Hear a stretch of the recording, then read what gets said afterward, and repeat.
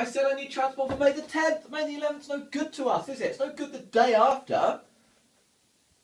No, I don't want to hear it. You're a mug. Now, actually, forget that. You're a twat, alright? No, I'll tell you what. No, no, I'll tell you what. You can take your May the 11th and you can stick it up your stupid, ugly face. Goodbye. Um, your aunt can't help out either, mate. Doopy doopy doopy doo doo. Doopy doo doo doo doo. Doo doo doo doo doo.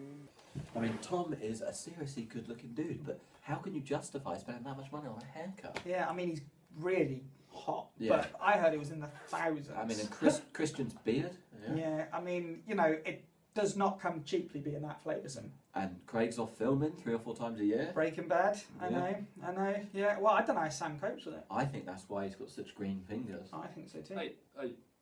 Oh, We'll- that's we'll- all right. we'll We'll cut that out. Yeah, Yeah. Yeah. Hey, I'm Alex, I'm Lee. I'm Seb. and We are Launch Control. Hey, look at that. We're pretty good at that Yeah, now. fourth episode to Yeah, go. yeah, Hey. yeah, yeah. Uh, yeah, so we're Launch Control, and we're now just one week amazingly. May the 10th be with you. And you. And you. And you. And you. chumps. We're just one week away from our gig with the Lurkers at the Queen's Arms in Reading, and we're really looking forward to it. So, for those of you that don't know, this is about the sort of time when an email comes through, like it just has from other bands, just talk about kit share and things like that for the night. So, Seb, you have to bring your drum breakables. Well, of course. You say that, but last time you misheard me and you brought Dairy Lunchables, didn't you? I did. Yeah, and your little SpongeBob.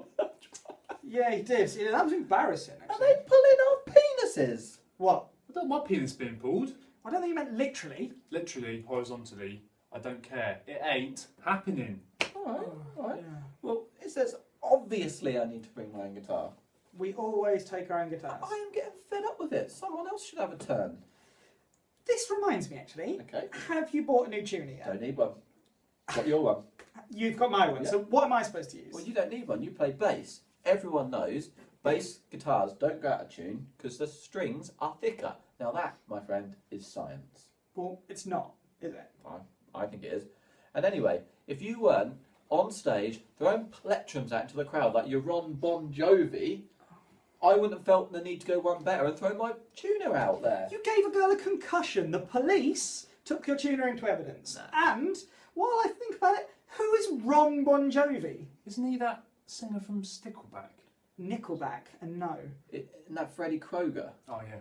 No and no. Look, just you should just stay quiet and I'll just respond to the email. Otherwise, we're never going to done. Oh, ask if I need to bring my own towel.